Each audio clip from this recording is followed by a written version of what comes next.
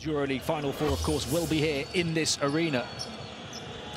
Bursaspor breaking the press and looking to break Partizan spirits in the process. He scores again. Needham. Back to Needham, looking to show unlimited range. Derek Needham. Madar. Back to Trifunovic. Three from another 21-year-old talent. Trifunovic wanted a foul, didn't get it. Bursaspor not hanging around. Stop and pop three will drop right on cue for Andrew Andrews. Looking to attack once more, but the confidence evaporating as he lost the handle on the ball. Hung up high!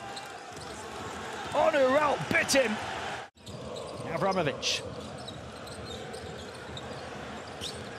Avramovic again, taking on that responsibility and doing it admirably in the dying embers of the third quarter.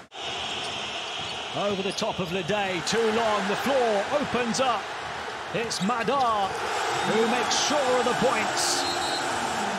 Now the whistles and the jeers rain down on Bursaspor. Three the lead for Partizan. Not anymore, says Derek Needham. 21 points as well as four assists now.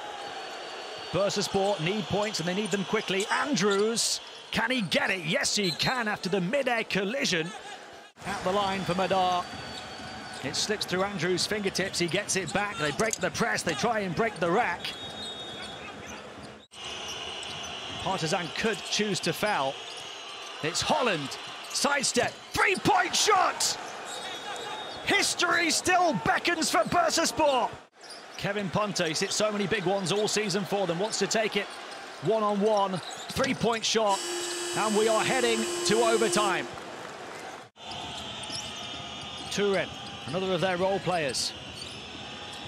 Andrew Andrews with a hand in his face, hits the big shot. The dream is dying for Partizan.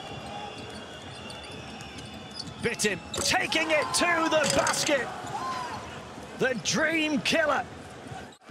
It's an important one because it makes it a three-possession lead. Avramovic, Lessort with the tip. Might be even more impressive than the win in Badalona last night for Ulm. Lessort, a small stitch in a wide open wound. The Stark Arena shaken to its core. Over 19,000 shell-shocked. And Bursaspor, in their first ever playoff game, have produced an almighty upset.